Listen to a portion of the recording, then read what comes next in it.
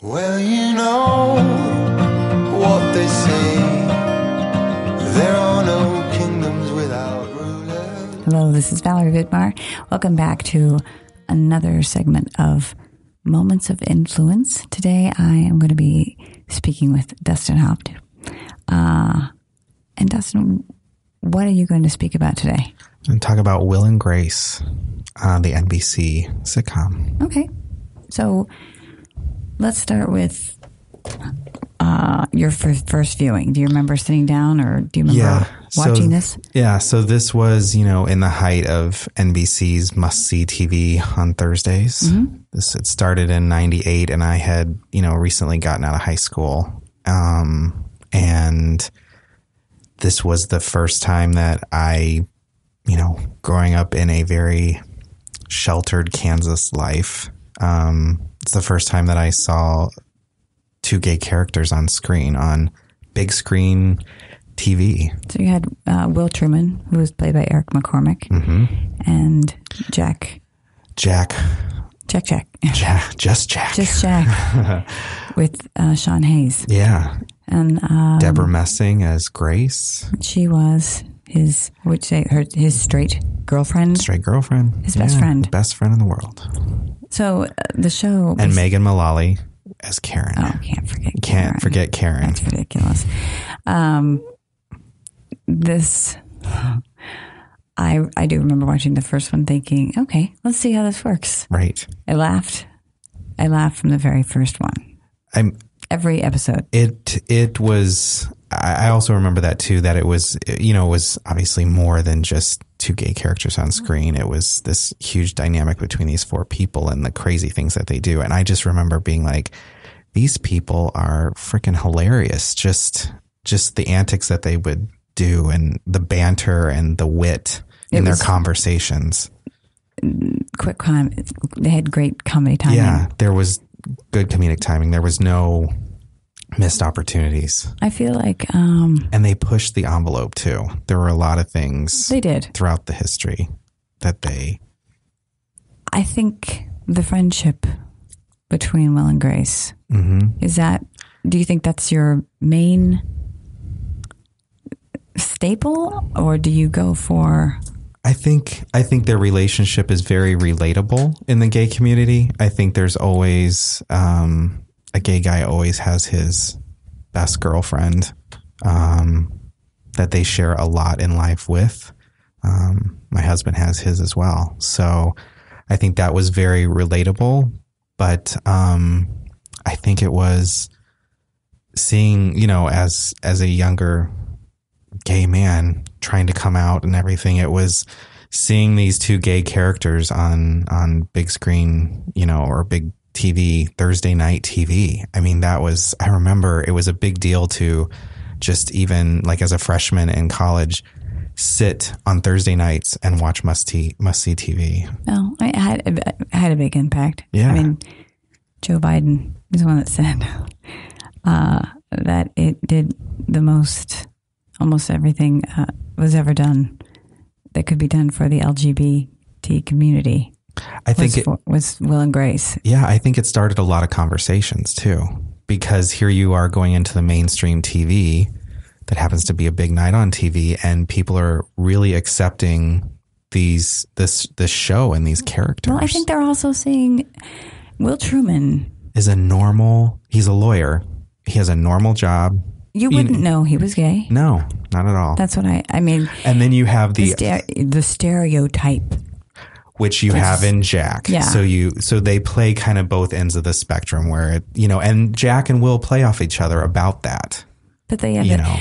the the the perception of the 2 Mm-hmm. You know, America's perception of Yes. the the straight acting gay Mm-hmm. and the flaming gay, and you have to be one of those, and you have to be one has to be. Uh, who's the girl in your relationship? You know, Right. they they address a lot of these things, and I also think that the friendships that women have with gay men, they're just such a different type of friendship than they Yes. have with with their other girlfriends. And I loved that Yeah. part too. And you see, and even in like, there's times where I really love the ra- relationship between um, Grace and Karen too. It's this this girlfriend kind of relationship between the two as well, that kind of coexists between kind of the, the gay guy's relationship. which I felt was. I, I don't think that anyone had feelings for anyone else. I mean, I know that Grace loves Will. Right. Um, it's interesting because you can have that love, and then when somebody, when she started falling for Leo, Yes. uh, Harry Connick Jr., that brought in it's a real thing. well the the baby. right. Let's talk about the baby. the baby. Yeah, they were on a track to have a kid together. And those are conversations that I've had Yeah. with close girlfriends, yourself included, you know, and it's like they started this track and then what'd she do? Hit her head and fell off a horse and there was Leo, you know. But that's a betrayal, yeah. And he felt I mean, that's why they went to therapy. right? You know, the next season started with them in therapy. Like, I thought we were gonna do this together.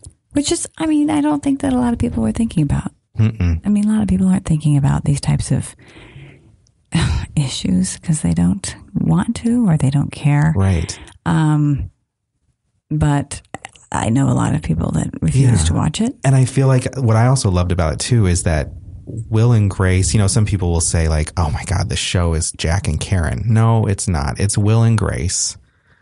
Yes, Jack and Karen are awesome. Um, but Will and Grace is what holds the show together because it is about them and they can have the serious moments. And Karen and Jack are the like they can just be crazy silly and and kind of offset because I think there were a lot of serious moments on Will and Grace. Do you have a favorite episode of the first run? Gosh, the first run. Um, I don't know. I, you know, I can't remember which season it was in. Um, but Or moment? I was going to say one moment that it actually doesn't even have to do with Will and Grace, but uh, there was it was with Jack and Karen, and he was filming for a commercial. Um, well, not a commercial. It was for a office sexual harassment video. Do you remember this? And he was filming for it, and Karen got casted as this the secretary, and Jack was the boss, and he was supposed to hit on Karen, so he kept kissing in her ear, and she just really started liking it so much that they couldn't get through it. I don't know if you remember this. Yeah. It was hilarious.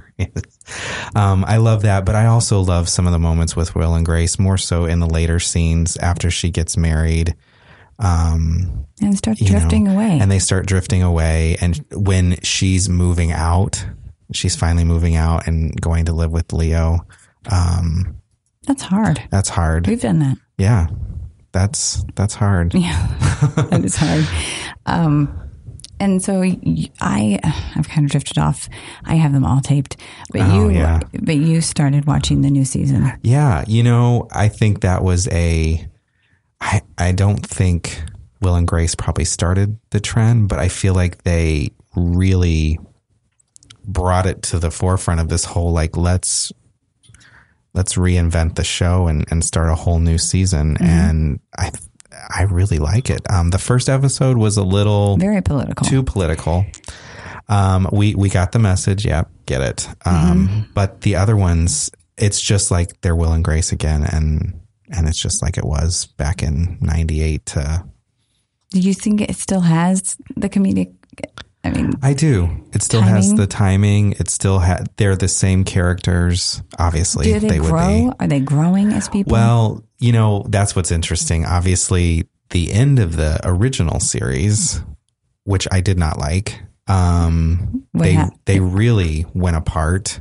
Mm-hmm. And they, because Grace is going to go off and do her thing, and he's going to go off and do his thing, and they lost touch. they fought. They fought, and they lost touch for like eighteen years. That I know in the gay community was a big like misstep. Like, would that really happen? Because if this is your best Well, girl what happened? What was there? What the fight about? I'm trying to remember exactly what the fight was about. I think it was about just living their lives and Will being with his guy and starting to have a family, a baby, and Grace, you know, having a baby. And they kind of just, they just lost connection and they went off and they met up again because their two kids uh, were in the same dorm. And that's how they kind of reconnected again, mm-hmm. and that's how the series ended. Mm-hmm.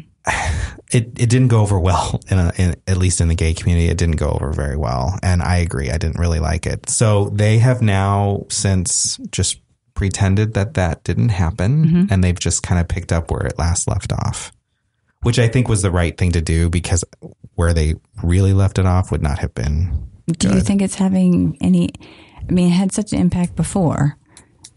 Is, are they having any types of impact now? I think it's having an impact now for the the current generation. You know, that's just starting to come out.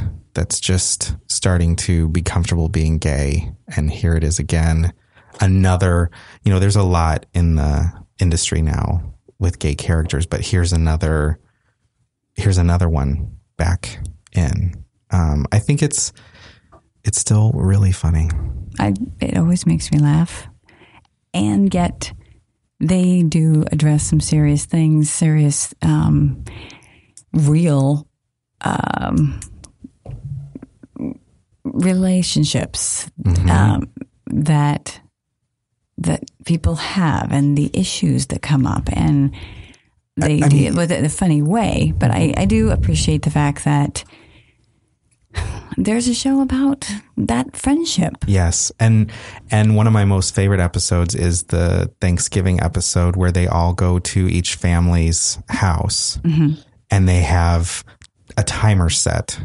So, you know that they well that's the second time they go, but the first time they go it's like there's a timer set and this is how long we're going to we're going to be there and then when they go back again, they set the timer even shorter, but um but that was very I remember watching that episode and it being very relatable. Just Nice. you know, these friends supporting each other, going to their families, you know, Thanksgivings where they don't really want to be because they'd rather be with their friends. Because the one thing in the gay community is we don't sometimes always, we get to choose our family, which means a lot more um, than, the, than the family that we're given. So, you know, they have all four chosen each other to be together and have But this relationship. Speaking of, of grace, and then you get married, Yeah. trying to explain that you also have this other male in your life that is important and that you tell everything to. Right. That's very hard Right. for a husband. I mean, I mean, that's yeah. hard. So I, I feel like that's interesting that they they, they did that. Um, It's very so relatable. Grace's, they did not have they just said that Grace's mother passed away.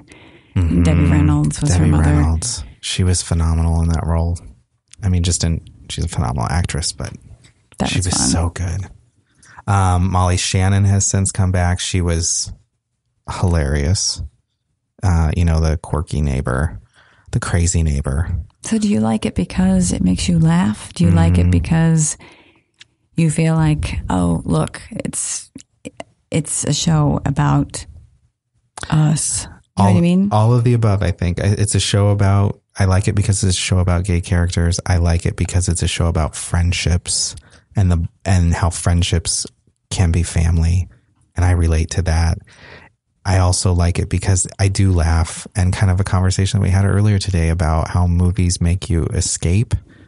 I just sink into this show and I just start watching it. And I, there's just so many moments in life where there's not a lot of laughter. It's and ex- it's so you can well just written. escape and laugh. I mean, this show. Let's see here. It's the highest rating sitcom uh, among 18 and 49 year olds from in 2001 and 2005 with 16 Emmy Awards, Right. 83 nominations. Um, in 2014, WGA, the Writers Guild of America, named it. It was 94th out of the 101 best TV, uh, best written TV series of all time. So it, it's not like it's just some silly show. Sure. You know, Yeah. it's it's got some impact, but They've they've all won of awards. The show's won awards. Um, it's it's relevant. and just damn funny, Yeah. honestly. well, thank you so much for sitting with me and talking about Will and Grace because Thanks for having me. we all we talk about us being Will and Grace, and so it's kind of cute Yeah. um, with our friendship being so long. Right. So yeah, cool. Alrighty, well, thank you for sharing, and I will start watching my taped episodes. Yes. I know. Because then I we can talk about those. I know, I know, I know. Okay. Well, thank you everybody for listening uh, to Moments of Influence. I hope that you will tune back soon.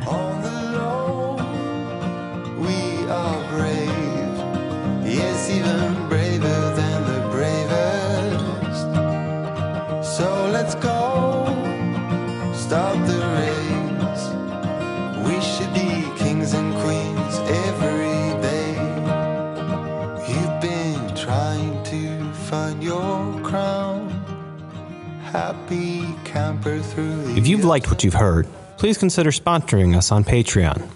Patreon is a creator support system that allows people to support the things they love and creators to continue doing what they love. Head on over to patreon.com slash gfmedia and choose the Cultural Stew podcast levels to show your support for us. Thank you.